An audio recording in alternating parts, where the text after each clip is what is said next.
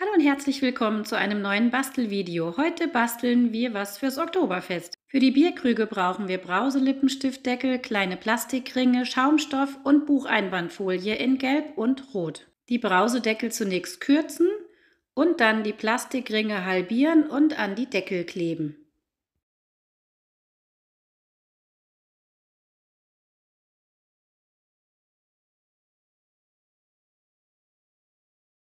Jetzt ein Stück gelbe Buchfolie abschneiden und in das Glas hineingeben, anschließend auch noch rote Folie hinzugeben, das macht einen besseren Farbton für das Bier.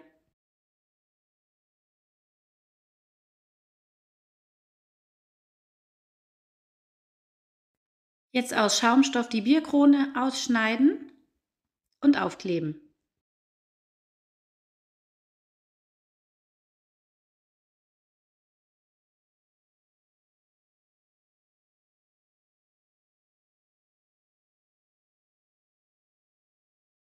Und fertig sind die zwei Maß.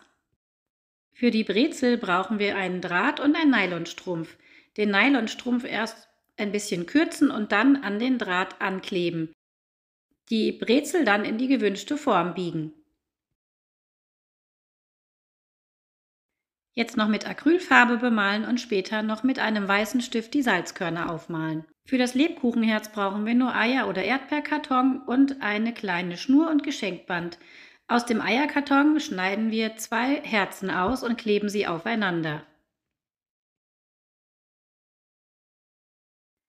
Jetzt das Herz mit brauner Acrylfarbe bemalen und anschließend die rosane Schnur auf das Herz kleben.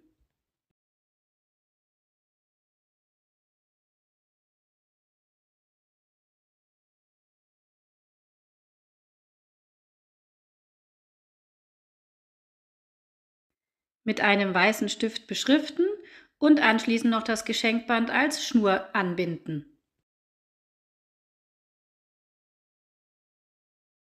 Für die bayerische Tischdecke nehmen wir einfach eine Frühstückstüte und malen das bayerische Muster auf. Dann kann ich nur sagen, oh zopft ist. Vielen Dank fürs Zuschauen. Tschüss, bis bald, eure Steffi.